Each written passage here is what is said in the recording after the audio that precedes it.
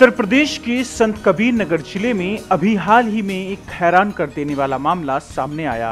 जानकारी के अनुसार ज़िले के ग्राम पचरा थाना धनघटा के पास एक बालक का शव बरामद हुआ, जिसके बाद इलाके में सनसनी फैल गई। मृतक की पहचान आदर्श पासवान के रूप में हुई।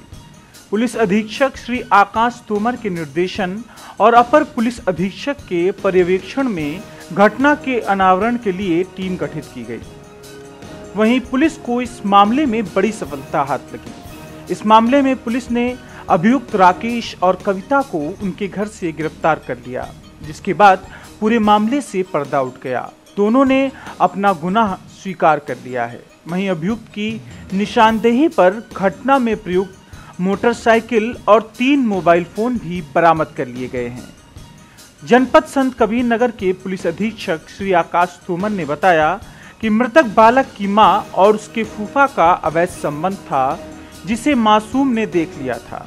इसी बात को छुपाने के लिए दोनों ने मिलकर बच्चे की मौत की साजिश रची और मासूम के तावीज से ही उसकी गला घोट कर हत्या कर दी गई। किया है, जिसमें हमने पुलिस को पच्चीस हज़ार रुपये के इनाम की घोषणा करी है। उस बात में ये बहुत ही शॉकिंग तथ्य इसमें निकल के आए हैं कि छः बच्चे का जो बच्चा था, उसकी मर्डर की प्लानिंग में और मर्डर करने में उसी की माँ का और लड़के के फूफा का इन्वॉल्वमेंट था। वो बात इस तरह से हुई कि लड़की जो बच्चा था, उसके फादर मुंबई में रहते हैं, नौकरी करते हैं और जो डिसीज़ है, उसकी माँ का और लड़ लड़के के फूफा का अवैध संबंध हो गए, जो लड़के ने देख लिया था। इस बात पर चूँकि पति को ये ना बता दें, इससे बचने के लिए इन लोगों ने मर्डर की साजिश रची।